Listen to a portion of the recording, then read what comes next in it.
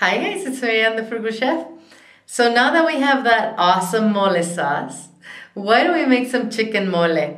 You know, you don't have to make the, the sauce from scratch if you don't want. You can go ahead and buy it. You can buy it store-bought. But if you have the time, I highly, highly recommend you just make your own.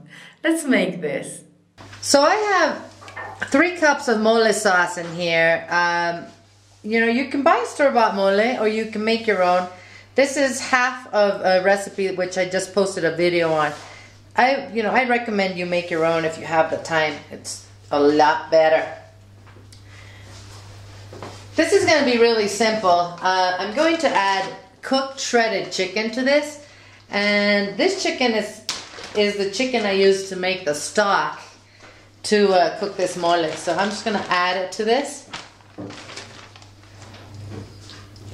And we're gonna let this cook and simmer for a good 15 to 20 minutes. Um, you know, and then it'll be ready. All right, I'm gonna let that cook, as I said, for about, I don't know, maybe 20 minutes. We'll let it come, you know, heat up and start simmering. Um, now, while that's cooking, why don't we toast some sesame seeds?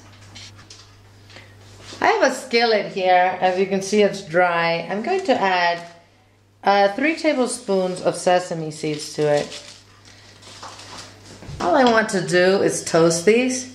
So I'm just going to be shaking my pan. I want them to start getting, you know, fragrant and aromatic and um, I don't want them necessarily to brown, but um, yeah. So we're going to use this to eat with our mole.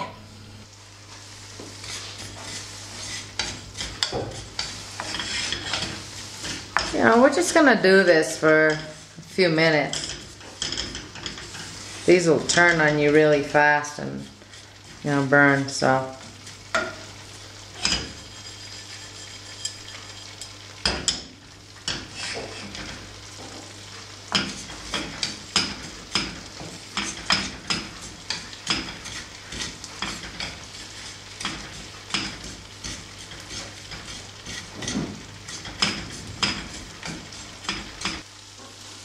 Okay, these are ready. I'm just gonna set these aside and as I said, we're gonna serve it with our chicken. This, my friends, is done. I'm going to sprinkle those toasted sesame seeds on top here. We're gonna serve this on white rice. Um, I'm not going to, I'll take a picture of it once it's plated uh, tonight. I wanna finish up here.